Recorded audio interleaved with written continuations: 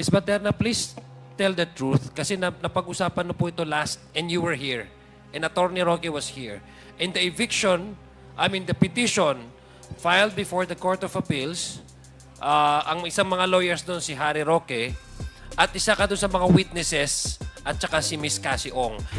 La, La Princesa po. La Princesa. Yes Opo. po. Sino po ang may-adi nito?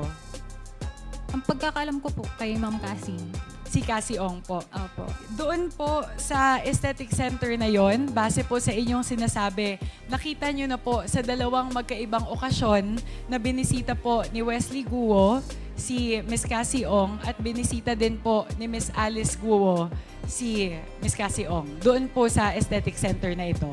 Ah, in-address po namin sa address ni Miss Cassie. Eh di yun nga ang problema eh.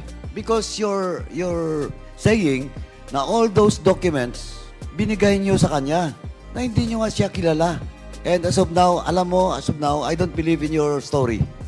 At this point in time, she has no right to refuse whatever food that we give her or sa, lalo na pag sa hospital kasi this will definitely affect her entire ano po, uh, health po niya. Ayaw naman natin pag next time bigla may episode na naman. So, madidelay ng madidelay itong committee hearing natin, Mr. Chair. So, Kitang-kita ko naman nandyan siya eh.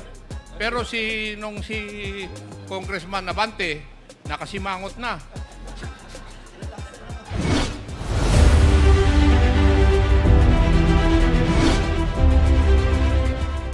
Thank you, uh, Ko- uh, Chairman Bante. Mr. Chairman, can I proceed?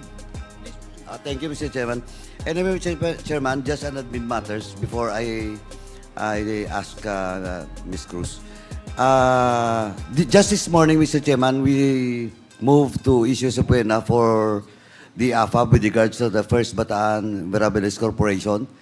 Uh, and COMSEC informed us that they have received the document last August 28. So the motion, Mr. Chairman, and duly approved by this committee uh, is hereby withdrawn, Mr. Chairman. Next, Mr. Chairman, uh, we also issued a show cause order for Alice Go. And uh, the status now is uh, Miss Alice Go is in the custody of the Indonesian authorities.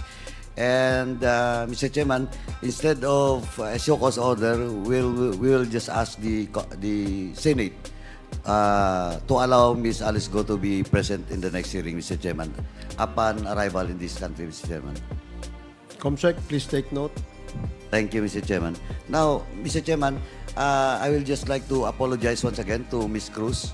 Ms. Cruz, kasi yung mga tanong po namin is uh, related to Ms. Cassandra Ong. And unfortunately, nandito po yung doctor uh, that will inform the committee and all the resource person on the status of the medical situation of uh, uh, Ms. Cassandra Ong. And also to the allegedly former incorporator of uh, Lucky South 999, Julian Linsangan, Maritsua. Ah, where's pala? ah, saan pala si ano? Si Edwin Ang. Ah, you're present. Anyway, I have question to you in relation to Cassandra Ong. So I cannot ask you as of now the details, but let me just ask you. Yung Dan, yung Cruz,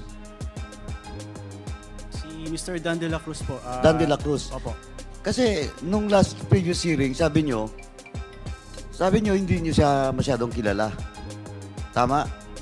Yes, Your Honor. ah, na-meet lang po ni Marion Chua as Ay, a- yun ang problema. You file a case against Dan de la Cruz but you not know the circumstances of such person. And you give him all your personal d- data information. Eh, nakakapagtaka naman yun, Mr. Linsangan. Now, if you want, if this committee will invite uh, Mr. De La Cruz, ano po yung address niya? Saan natin makikita? Nowhere to be found, but of course, you file a case. Pero dun sa case ba, may address niya? ah, in-address lang po namin to sa address ni Miss Cassie Ong pa rin. Sorry? Ah, in-address po namin sa address ni Miss Cassie Eh, di yun nga ang problema eh. Because you're, you're saying na all those documents, binigay niyo sa kanya na hindi niyo nga siya kilala. Di ba? Kaya, Mr. Chairman, uh, maybe in the next hearing, I will ask uh, Cassandra Ong with regards to that uh, certain De La Cruz. And as of now, alam mo, as of now, I don't believe in your story. You know? Kasi bibigay niyo yung yung information, personal information niyo with the person, hindi niyo kilala. Kahit ano pang circumstances. You don't know the person, you don't know the address.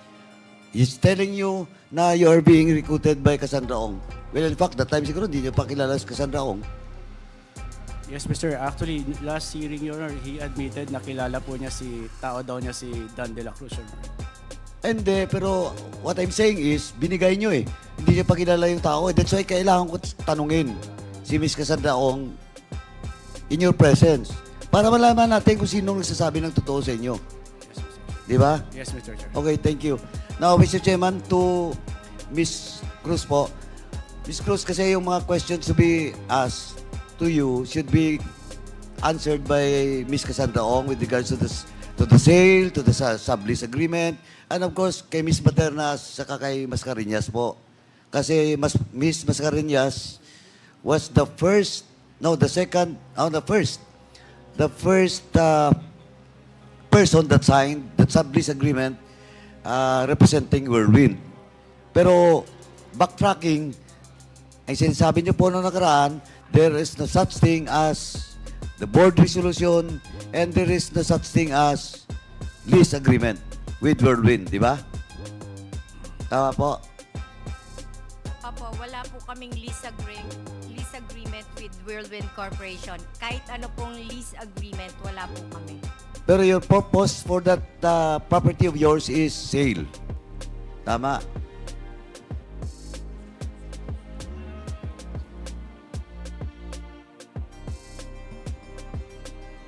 Ah, Mr. Chair, pwede po pakiulit yung question po.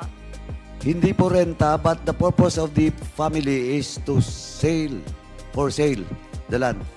Yes, Mr. Chair. Oh, anyway, uh, since Cassandra Ong is not present, pag-usapan po natin yan. Sorry talaga. Kasi out of control natin yung nangyari sa kanya ngayon. And uh, sabi ko nga, nandito yung doktor to explain to us the present medical status of Miss Cassandra Ong. Sorry po talaga. Ah, Mr. Chair, ah, sa mga sulat po namin, humihingi po kami ng ah, permiso sa inyo um, kasi sa September 9 to 18, out of the country po kaming magkakapatid dahil po dun sa mother po namin.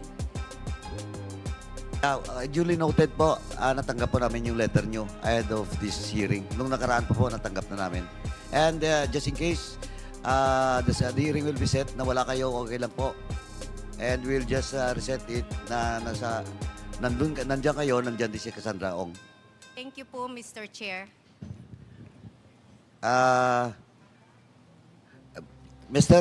Lacerna, hindi pa po tayo tapos. Kaya lang medyo, uh, I don't know if sa, some of the members will ask a question pa. Yes, uh, uh, in the list, uh, Kong Zia and then uh, Congresswoman Mika Sonsing. Uh, meanwhile, Mr. Chairman, uh, doon lang po muna. Okay, thank you, Thank you. Congressman Paduano. Congressman Zia, you're Yes, thank you, Mr. Chair. Uh, Mr. Chair, I was slated to ask questions to Ms. uh, Ong prior to the episode that we just seen. I believe she had a medical condition which requires direct medical attention. Mr. Chair, we have here the head of our medical uh, ano yun? medical director, the House of Representatives, who personally assessed and checked, examined Ms. Ong. I would like to ask uh, our doctor here, resident physician, what is now the status of Ms. Ong? What's what's the condition really? Good evening, Mr. Chair. Good evening, everybody. Uh, well, to put it in a nutshell, um, Ms. Uh. Cassandra Ong is quite unstable as of this moment. No, so definitely, uh, as I saw in the, uh, earlier, that she, blood sugar was very low, unreadable now, doctora, even in the, even through the RBS, and then now it's. Um, it was uh, after giving her some carbohydrates, it was raised to 169. Her blood pressure right now is only 80 over 40. And uh, of course, uh, as, a good doctor will also know, uh, we cannot take this one in separate, separate blood sugar and uh, blood pressure. So it's all intertwined. So that's why I can say that she's quite unstable now. One thing can affect the other thing. So um, so that's it. In fact, if I may say, you know, this morning when we checked her, blood, her blood, her blood pressure is only 70 over 40.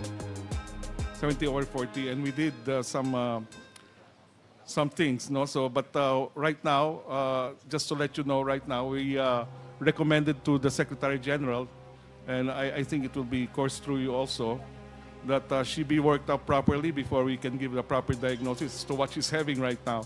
Because we, we actually don't know if it's because of uh, heart failure or, or something like that or or, or something like that, sir. So Uh, uh, Mr. ma- Chair, uh, may I- Mr. Chair, since since this morning before since the hearing, yes, sir.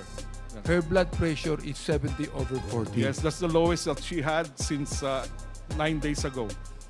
Mr. So usually she has 70 over 50, 80 over 50, you know, 90 over 60. So, But Mr. for Mr. one week, for almost one week, she's been like that, sir. So we were trying to see if she can still attend, and actually we did not uh, propose anything uh, before today.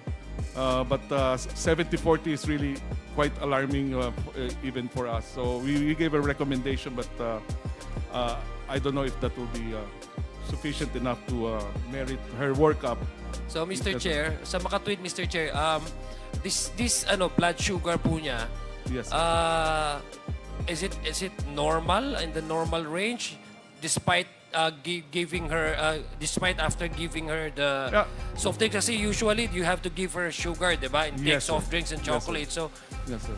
is this already ano normal range ang Yes, sir. This is already in normal range, but uh, of course, just because we gave her the carbohydrates right now, the, Not the not the blood pressure.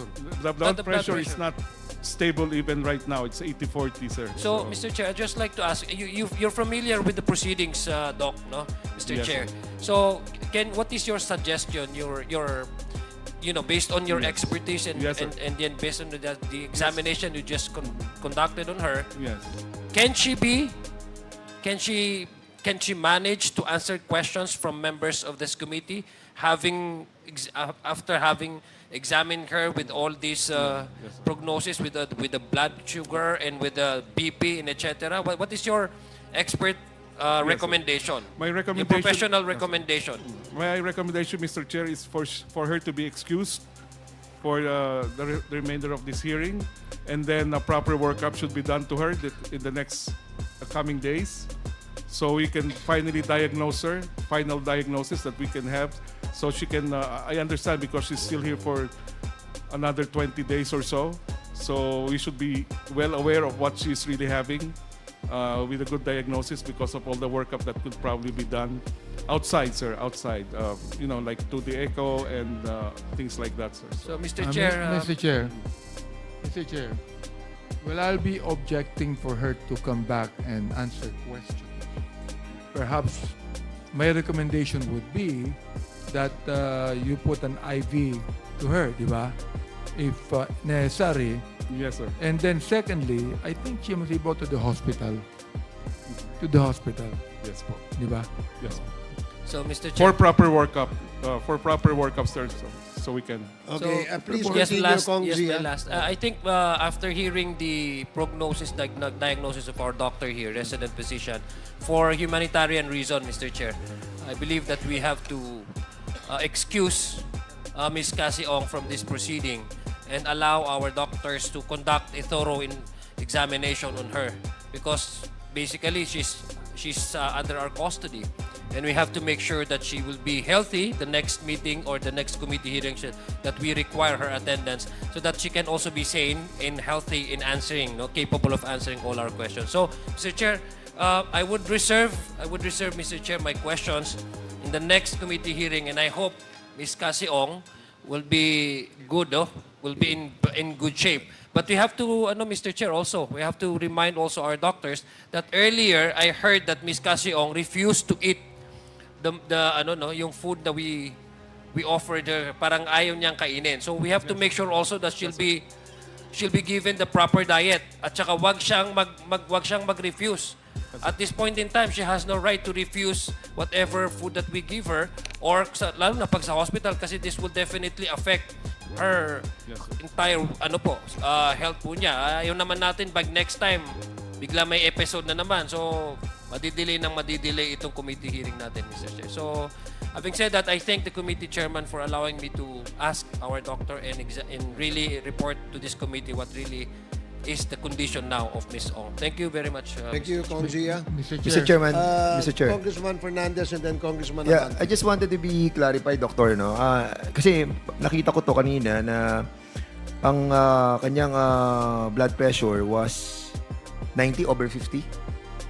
And then a while ago when ah, she testified, kasi 1207 pa to eh. So now, ano yung naging blood pressure niya prior to this, ah, ano? 80 over 40, sir. Ha? 80, 80 over 40, Mr. 80 po- Chair. eh, Yes. over 40. And ah, what that ah, indicates? Hypotension po. Hypotension. And uh, It's, her uh, blood sugar, uh, kanina mababa, it jumped to 167 Yes, sir. That's a normal consequence because of of the her. uh, iced tea. yeah. Yes, sir. But it is temporary. I would I would presume, sir, it will be temporary. Will you uh, recommend uh, having her uh, in a hospital uh, instead of uh, being here? Yes, sir. I, uh, we, we gave the recommendations already to sec- the Secretary General. Kasi kung kinakailangan dalhin siya sa hospital, uh, bring for, her to the for hospital. proper workup only, sir. For proper workup. Yeah. For proper please. workup. So so we can make sure, but that when she gets presented here the next time, that uh, we are aware of what she truly has, and we are we have already the proper medication, the proper treatment. Do we have she- a complete that she faci- can continue. Do we have Yeah. a complete facility in order to Uh, find out the real uh, no, not condition? here, sir. Not here. Oh, in that Not here, case, Mr. having this kind of Yeah. uh, blood Yeah. pressure and the uh, staggering uh, blood sugar, Yes, don't you think it's uh, high time to bring Yes, her to sir. the hospital? Yes, sir. Or at least two, three days. Just to give the proper workup, sir. Two to three days. po. Okay, Two to you will be the one responsible for this, ha? Because uh, Yes, ako, I, I myself, I will be recommending her to be Yes, uh, sir. brought to the hospital. So that uh, only, yes, sir. Huh? So that only Mr. Chair, the, the next time she goes to the hearing, we already know exactly what she has and she's being treated for whatever she No, has. no, no. What I'm trying to She- tell uh, Yes, Doc, sir. Doc Yes, uh, sir. Valencia, ay Valencia ba? Bautista po. Uh, right now, we have the uh, blood pressure that is so Yes. low, starting 1207, and then a while ago, you told us that it was from 9060, naging 8040 siya. Yes, sir. And then the blood sugar was so low when he when she drink the iced tea, it jumped to 167 milligram. So Mm-hmm. Yes. don't you think it's uh, proper to uh, bring Yes, her sir. to the hospital now? If uh, if the if the committee will uh, approve of that, then there's no reason for us to delay further. So the sooner we know her diagnosis, So- the sooner we can treat So her. we will be letting you the your medical expertise. no? Yes, sir. Sige. Yes, Thank you, uh, Mr. Chairman. Thank you, Congressman Fernandez. Uh, Doc, I Yes, think sir. you should do what is necessary. Okay po. No, kung kailangan siyang dalhin sa hospital, uh, bring her to the hospital. Okay, Eh, sir. Kailangan i-work up siya, dalhin nyo, ga- gawin nyo lahat ng work up na kailangan. Opo, sir. Okay? You don't Uh, actually uh, need the approval of the committee because I think this is an emergency case. So, Yeah, sige, so, And, and Mr. Chair, I'd like to, I'd like to uh, tell our doctors that, for for example, before the hearing, her blood her blood pressure is 70 over 40. This this No. morning, Mr. Chair. Yes. Huh? This morning, Mr. Chair. Yeah, no, 70 Yeah. over 40, correct? Yes po.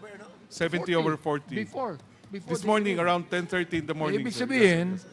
pwede na papuntahin dito pag ganun ang blood pressure niya. But we were watching her the whole day, so somehow we felt she can, but uh, apparently she wasn't able to continue sige. anymore, sir. Na- now that you have given your opinion on her medical condition, do what is necessary. The committee will abide by you. Okay? So, thank you. Mr. Chair. Next, uh, Motion to uh, Chair. uh, wait, um, Congressman uh, Acop. Oo, kasi yung mga chairman, eh, sila na lang eh. Sige, okay. Congressman Acop. Doc, sabi po nyo, 2 to 3 days. The lab exam will be complete. Uh, not only the lab exams, Mr. Chair, I think uh, she will have to undergo some other procedures like a 2D echo and uh, other things po. To rule out yung heart problem. Yes po. Pero yes at po. her age, medyo malayo. Uh, we, we cannot definitely say that, but uh, I, I will be more comfortable with her having a, at least a 2D echocardiogram. Kasi 2D napansin ko nung tinatanong naman siya ni Kong Johnny Pimentel, ni Dan Fernandez, nakangiti pa eh. Di ba? Eh, kitang-kita ko naman nandyan siya eh. Pero si, nung si Congressman Nabante, nakasimangot na. Hindi. I'm sorry, Oh. I tapos ah, bumalik kay Dan Fernandez. Nung sinabi niya na ikukulong sa Correctional Institute for Women, biglang nagbago. Eh, yun na naki, napanood ko kanina. So, Yes, sir. pwede ba sa takot o sa stress yung yeah, of ganyan? course, sir. Stress will have a big factor in all these things. So she's having all this stress and uh, Tapos, hindi pa kumakain, hindi kagaya ni Madam Baterna. eh, kaya tingnan nyo si Madam Baterna kasi nakalabas. Okay na, mataba na. Pero itong isa kanina, haggard na haggard eh. Di ba? yeah. Yes, sir. Yes. Kaya nakita ko talaga. But, but to correct that, sir, she's not actually fasting. Uh, uh, she just refused to eat what we give her, but she's ordering food from outside and eating properly, sir. Pero kung hindi siya kakain, talaga mangyayari yung Yes, sir. ganyan. Mis- she's- Mr. Chair, uh, I was told by Congressman Dan Fernandez that Chairman H invited Miss Baterna for dinner. Eh, matagal ko nang alam yun. Na, Kwan? Di ba, Madam Baterna? Di ba? Kita kayo ni Kwan, eh, sa opisina niya. Oh, ikaw talaga. Mr. Chair, Thank you, Mr. kidding Chair. aside. Kidding, kidding aside, Mr. Chair. may Yes, I- uh, Congressman Abante, and then Congresswoman Jinky Luistro, and then Congresswoman Garin. I just would like to make a manifestation, despite the fact that uh, uh, Ms. Cassie Ong is no longer fit to face uh, this committee, that uh, uh, in in uh, questioning her, uh, Mr. Chair, that she has consistently lied in this committee. And then when we asked Mr. Linsangan and Mr. Chua, they they actually said that uh, Miss Casiong is actually involved in Pogo, which of course uh, Miss Cationg has consistently denied, Mr. Chair. So I just would like to make that manifestation. Okay, thank you, Congressman uh, Abante. Congresswoman Luistro. Mr. Chair, I wish to confirm from our committee secretariat if we have issued an invitation to Duan Ren Wu because Cassandra Ong kept on mentioning his name as the one who is the big boss in Lucky South. Have we invited him? And considering, Mr. Chair, his non-appearance, may I move that a show cause order be issued against Duan Ren Wu? So move, Mr. Chair. Okay, there's a motion to issue a show cause order to one. Oh, there is already a, a show cause? So there is already a show cause order last, uh, because we've been inviting him. Uh, With, therefore, with the manifestation of the committee secretary that a show cause order has been issued already, then may I move that a subpoena ad testificandum be issued to Duan Ren Wu. So move, Mr. Chair. Second. There is a Second the motion to issue a subpoena ad testificandum to Mr. Wu. Yes, Mr. Mr. Wu. Chair. Uh, Mr. Wu and uh, Julie seconded. Hearing no objection, the motion is carried. Mr. Chair, one more thing. Uh, Mr. AJ De La Serna mentioned about the property, the solar plant in Cebu. May I request for a copy of the property with the LRA as well as the articles of incorporation, if it is a corporation, with the Securities and Exchange Commission, Mr. Chair. I wish that the invitation be addressed to the LRA for the title, the tax deck for Cebu City, and the articles of incorporation addressed to the Securities and Exchange Commission. So move, Mr. Chair. So SAC and LRA, uh, please comply. There is a motion to uh, motion to compel uh, LRA and uh, SEC uh, to submit to the committee the documents being asked by Congresswoman uh, Luistro. Is there any second? Julie seconded. Good evening, Mr. Chair, Your Honors. May, may the LRA. Ho- Hold on, hold on. Julie seconded, and hearing no objection, the motion is carried. Yes, may I know your name, uh, attorney? Attorney Elizalde, Your Honor. I'm sorry? Uh, Attorney Elizalde of the LRA. Attorney Elizalde of Of the Land Registration Authority, Your Honor. SEC. LRA po. Ah, LRA, LRA. Yes, please proceed. Yes, sir. We shall provide the document which you require from us. Oh, you have already We will- provided. no, we will provide, Your Honor. Ah, okay, Mr. thank you. Chair. Thank you. E SEC. SEC. Mr. Chair? So, COMSEC, please coordinate with uh, SEC. Did you hear the request of Congresswoman Luistro? Can you please uh, reply by not just by nodding to the committee?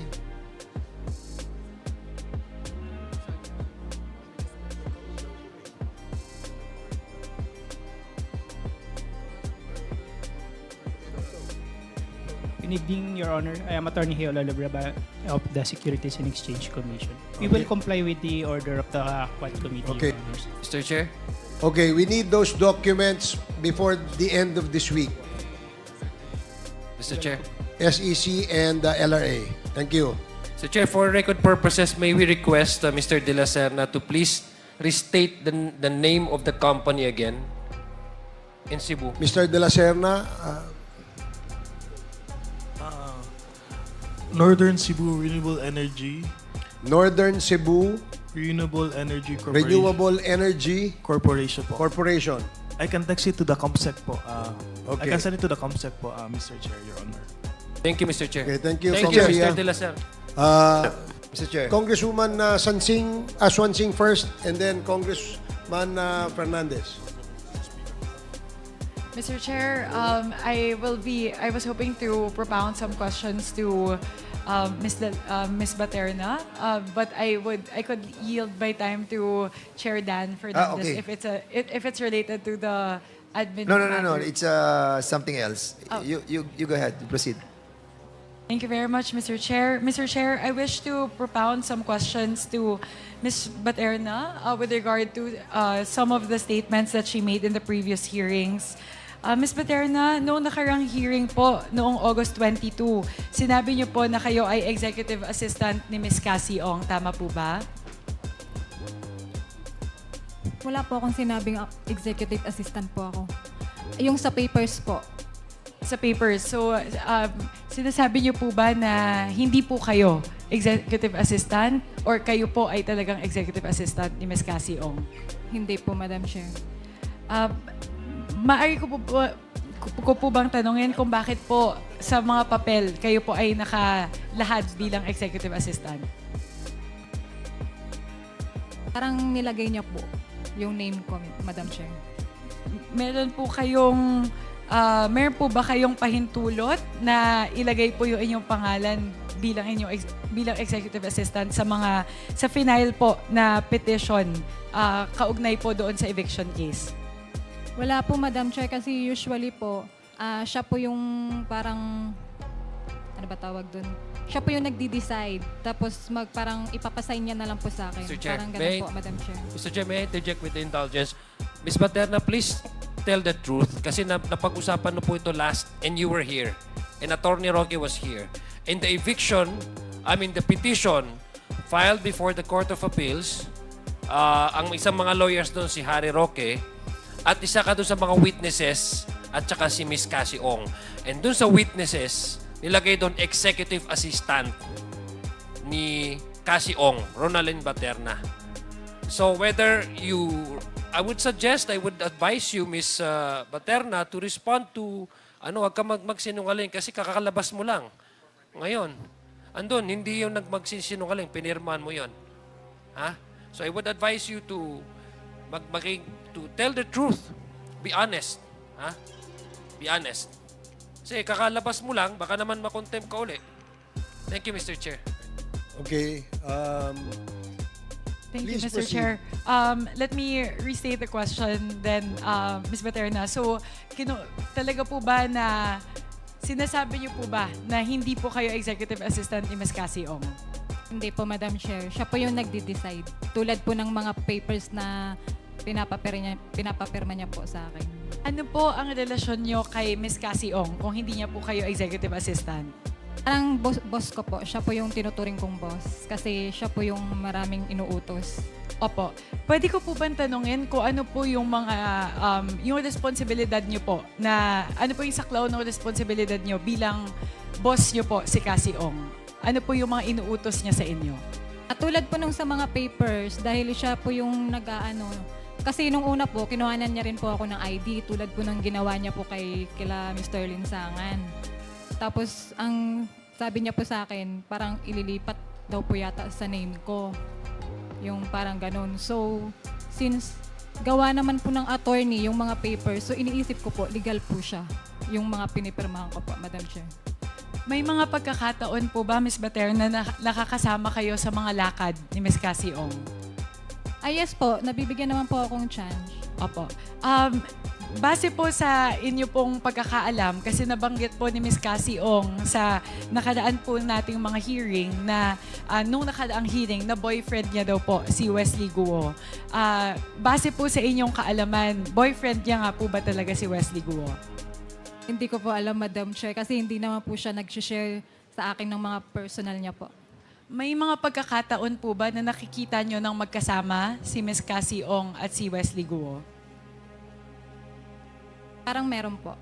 Maadi nyo po bang ibahagi sa komite na ito? Ano po yung pagkakataon na yon? Ano pong okasyon? Ilang beses nyo na po sila nakitang magkasama?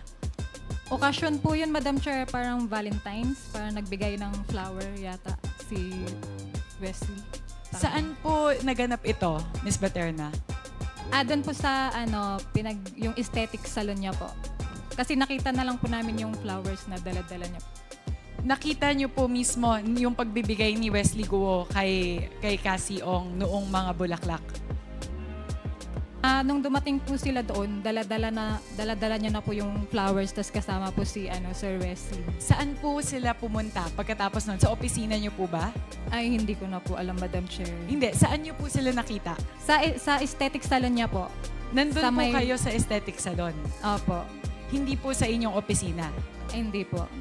May mga pagkakataon po ba bukod kay Wesley Guo? May, may, Guo, may pagkakataon po ba na nakita nyo na magkasama si Miss Cassie Ong at si Alice Guo? Hindi po, Madam Chair. Sa inyo pong um, sa inyo pong pag-alala, um, kahit kailan po hindi nyo po nakikita pa si Miss Alice Guo. Once po. Kailan po Pero ito? hindi po yung totaling nakaharapan. Opo, maano niyo po bang ibahagi kailan yung pagkakataon na iyon na nakita nyo si Alice Guo? Hindi ko po madandaan, Madam Chair, eh, kasi doon po ulit sa aesthetic po, nag, may parang pinagawa po siya. Parang- Opo, ma- parang ang dami po nagaganap, Mr. Chair, dito sa aesthetic um, salon na ito. Maaari niyo po bang ibahagi yung pangalan ng aesthetic salon at um, saan po ito um, nakatayo? Saan pong, sa Porac po ba? Sa Bamban? Saan po itong aesthetic center na ito? Ang alam ko po nga, ay dati po, nakatayo po siya sa may friendship, sa friendship po, Angeles. Pero nag-close, na, wala na po yung ano doon eh, wala na po yung, ah, anong tawag doon? Yung store. Lumipat po yata, pero hindi ko po alam kung saan na po nila nilipat. Opo, ano pong pangalan, kung naaalala niyo po, yung pangalan ng aesthetic center? Ah, La, La Princesa po. La Princesa. Yes Opo. po. Sino po ang may-ari nito? Ang pagkakalam ko po kay Ma'am Cassie. Si Cassie Ong po. Opo. Doon po sa aesthetic center na yon, base po sa inyong sinasabi, nakita nyo na po sa dalawang magkaibang okasyon na binisita po ni Wesley Guo, si Miss Cassie Ong, at binisita din po ni Miss Alice Guo, si Miss Cassie Ong. Doon po sa aesthetic center na ito. Ay, yes po, Madam Chair. Magkaibang pagkakataon po ito. yes po, Madam So, uh, pinapa, dito po sinasabi niyo po sa komite na sigurado po kayo na magkakakilala si Miss Cassie Ong, si Miss Alice Guo, at si Mr. Wesley Guo. Yes po, Madam Chair. Okay po. Salamat po, Miss Paterna. Um, sunod po na tanong ay, kilala niyo po ba si Mr. Duan Renwu? O yung tinatawag po na Big Boss? Yes po, nakikita ko po siya. may pagka, nung mga pagkakataon po na nakikita niyo po siya, kasama niyo po ba si Miss Cassie Ong? Kasama, siya po yung kasama ni Ma'am Cassie po. So sa lahat po ng pagkakataon na nakita na nakita mo si Mr. Duan Renwu, lahat po ng pagkakataon na iyon ay magkasama sila ni Cassie Ong. Eh, yes po, Madam Chair. Um, sa mga pagkakataon po na nakikita nyo sila, ano po iyon? Um, okasyon po ba yon o may trabaho ba? Meron ba silang transaksyon na ginagawa? Um, ilang beses nyo na po ba sila nakita na magkasama? Minsan lang po, Madam Chair. Kasi hindi po sila palagi pumupunta doon kung saan po ako nag-work. Opo. Um, pag sinasabi niyo po na kung saan po ako nag-work sa Lucky South 99 compound po? Eh, yes po. Okay. Para lang po malinaw po sa amin. Hindi po sa Whirlwind. Sa Lucky South 99 po. Yes po. Bihira niyo po sila nakikita, pero may mga pagkakataon po na nakita niyo na magkasama sa magka na sa ilang okasyon na bumibisita si Miss Cassie Ong at si Mr. Duan Rennerbu nang magkasama sa Lucky South 99 office. Yes po, Madam Chair. Opo. Ano po kung um, ano po yung dahilan na bumibisita po sila sa Lucky South 99 na opisina? Siguro po, chinecheck po nila yung ano, yung building. Parang ganun. Chine-check po yung building? Opo, yung... Ano ba tawag doon? Yung ano po, yung negosyo nila, parang ganun po siguro, Madam Chair. Opo. So, involved po ba sila sa operasyon ng Lucky South 99? Kaya sila nag-check ng building? Hindi ko lang po alam, Madam Chair. Opo. Sige po. Um, yung ah, sa Lucky South 99 po, kayo po ay treasurer ng Lucky South 99. Hindi po.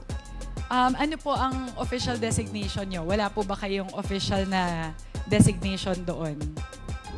Yung corporate secretary po. Kaso Opo. papers on. Kindly wrap up, uh, Opo. Congresswoman Sansing. Opo. Um, ito pong mga, kasi po yung Lucky South 99, meron pong mga utilities na binabayaran tulad po ng tubig at kuryente. Um, nakikita nyo po ba yon kapag merong mga gano'n na pinaprocess? Yung mga dumadating po ng mga bill?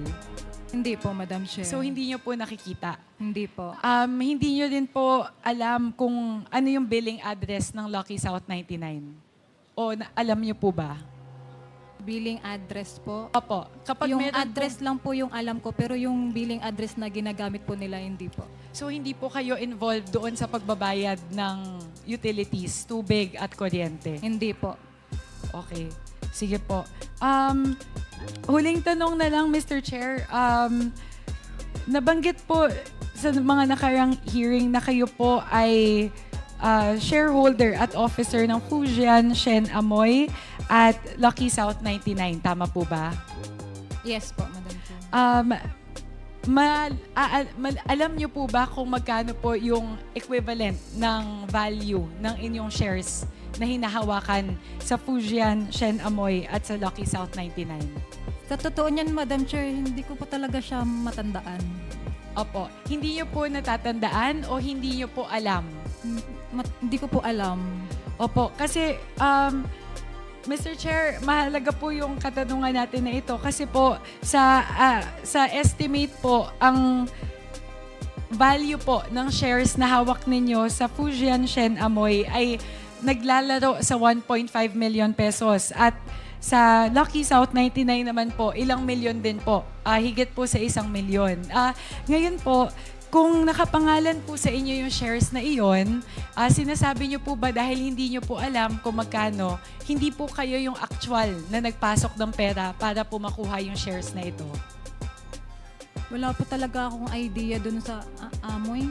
Um, amoy. Last question, uh. Congresswoman Sansing. So, yes, Mr. Chair, thank you. So, ang huling tanong ko po, wala po kayong pinasok na pera?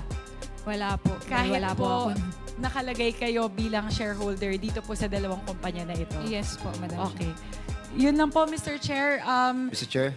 ta- yun lang po yung aking mga katanungan, Mr. Chair. Yung Mr. iba Chair. po sa aking mga katanungan para po kay Ms. Cassie Ong, pero dahil po sa um, kasalukuyang sitwasyon po, um, I will reserve it for the Okay, other sige. hearings. Thank you, po. Congresswoman Sansing. Uh, Congressman Dan Fernandez. Uh, I move to suspend this Ah, uh, Mr. Chairman. Quadcom hearing. Mr. Chairman, before we Before roll we with act the... on that, yeah. yes. Just admin lang po. Kasi uh, we issue a subpoena for Mr. Wu. And uh, COMSEC asked me that the PNP be, or, be directed to coordinate with COMSEC and SAA so that we can locate the address of Mr. Wu for that uh, subpoena artist. For the subpoena, Mr. Chairman. Okay. Um, SEC also, can we ask you to please uh, submit to the committee all corporations registered under the name of Mr. Duan Ren Wu. The same uh, name uh, mentioned earlier, uh, owning the company Lucky South 99. We will comply, Your Honors. Thank you. So there is a motion to suspend. And uh, hearing no objection, we are temporarily suspending this committee hearing. And thank you very much to all our resource persons for your cooperation and patience. See you again in our next hearing. Session suspended. AMLA and AMLAC and uh, NBI po.